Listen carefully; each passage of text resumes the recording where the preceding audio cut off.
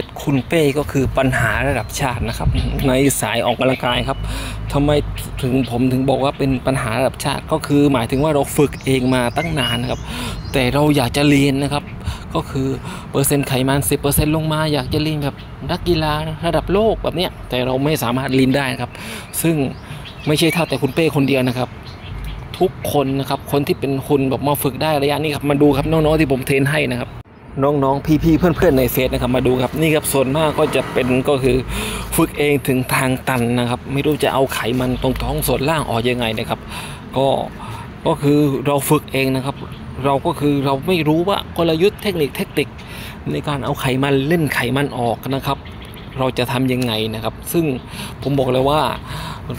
ทุกคนนะครับก็คือมีความรู้ความสามารถคนละด้านนะครับ แต่อย่าบอกอย่าลืมนะครับว่าความถนัด แต่ละคนไม่เหมือนกันนะครับ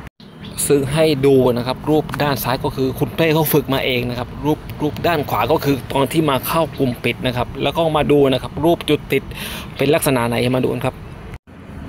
ให้ดูนะครับก็คือรูปจากด้านซ้ายมาด้านขวาก็คือมันจะถึงจุดติดมันจะตันนะครับ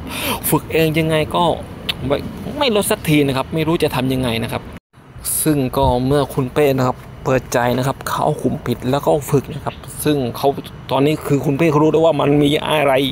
ก็คือเยอะมากนะครับที่ก็คือเรามันยังไม่รู้นะครับ ไม่ว่าจะเป็นกลยุทธ์เทคนิคเทคนิคนะครับการฝึกนะครับ ถ้าถูกต้องไหมอ่าต้องมีแอดมินมีคนที่ไม่ให้ความรู้นะครับคอยนำนะครับ ถ้าถูกต้องไหมโฟกัสถูกไหมฝึกหมดแรงจริงไหมนะครับ ก็เล่นจำนวนเซตก็คือ เล่นกี่เซตดีจำนวนครั้งอะไรที่คนติดกับดักกันนะครับ เดี๋ยวผมจะคือในกลุ่มปิดมันจะมีก็คือรายละเอียดนะครับ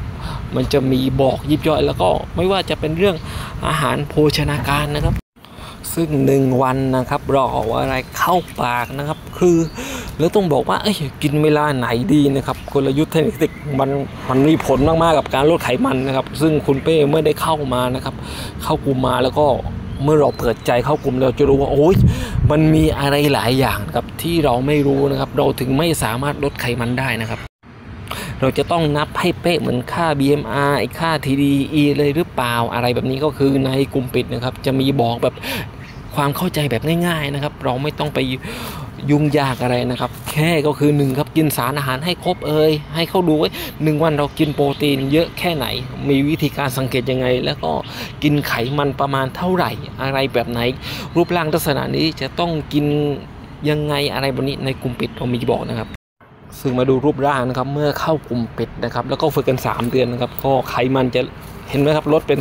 หน้ามือเป็นหลังมือนะครับ นี่ก็คือข้อดีของการเข้ากลุ่มปิดนะครับ นี่ครับ ซึ่งก็คือสำหรับคนคนอื่นนะครับที่ฝึกก็คือยังลดไขมันไม่ได้นะครับ ที่ฝึกมานานก็คือก็เขาเขาไม่ผ่านบททดสอบนะครับ คือเขาไม่สามารถดึงข้อได้ดิฟได้สควอตสควอตได้นะครับ แล้วก็เขาก็ไม่จริงจังนะครับ